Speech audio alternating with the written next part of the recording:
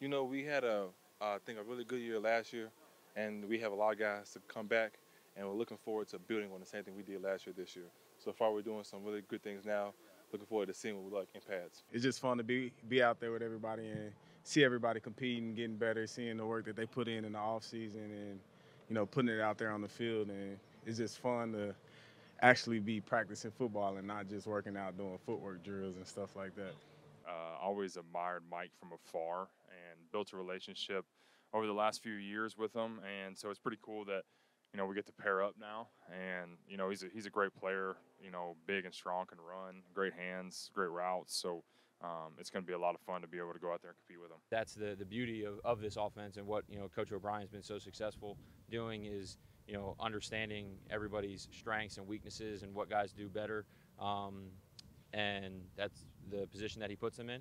So uh, it's been it's been really good. It's been a good off season. A lot of ball left uh, before you know we head out for the summer, and then it gets real once we come back. So.